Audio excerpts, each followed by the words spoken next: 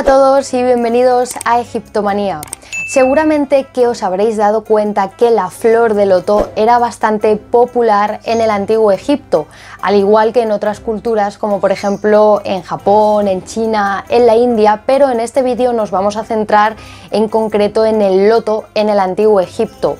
¿Por qué eh, les gustaba tanto la flor de loto a los antiguos egipcios? ¿Qué significado tenía para ellos esa flor? Si quieres saber sobre este tema, quédate en este vídeo. La flor de loto en el antiguo Egipto la podemos ver en muchísimos lugares, en pinturas que podemos encontrar en el interior de las tumbas, eh, también podemos ver a dioses que están emergiendo de una flor de loto, es decir, que están naciendo de una flor de loto, a dioses que llevan también la flor de loto en la mano, incluso hay un busto de Tutankamón, una cabeza de, de Tutankamón siendo niño, que está también emergiendo de una flor de loto. Para comprender la importancia que tenía para los antiguos egipcios la flor de loto, debemos de saber cuál es la naturaleza, bueno, mejor dicho, cuál es como el comportamiento de esta flor. El loto es una flor que cuando sale el sol, eh, esa flor sale también y cuando el sol se va, se le cierran los pétalos y se sumerge bajo las aguas y al día siguiente lo mismo, es decir, al día siguiente cuando sale el sol vuelve a salir y es un ciclo que se va repitiendo siempre. Por lo tanto, esta flor rápidamente fue relacionada, fue asociada al sol, ya que el sol tiene también el mismo comportamiento. Todos los días sale el sol, luego se vuelve a poner y esto es un ciclo constante que va ocurriendo durante todos los días.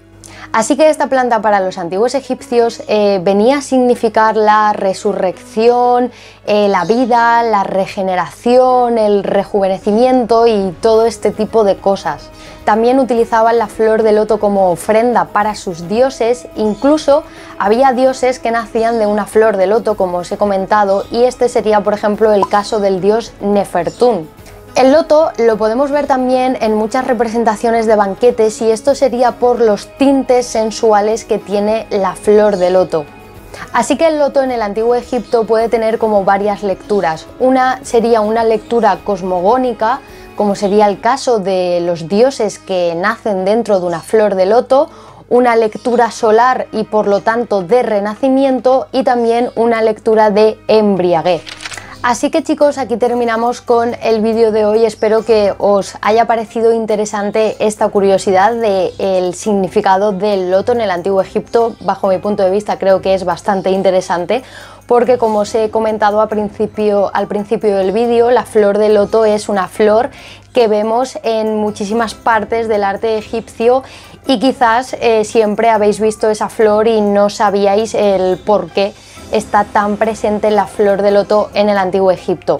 Así que aquí terminamos, espero que os haya gustado el vídeo y si es así, darle al like y si os gusta el canal y todavía no estáis suscritos, ¿a qué estáis esperando? Suscribiros y no olvidéis activar la campanita y seleccionar la opción de todas para que así os lleguen las notificaciones con todos los vídeos que vaya subiendo. Muchas gracias a todos y nos vemos en el próximo vídeo. Hasta la próxima.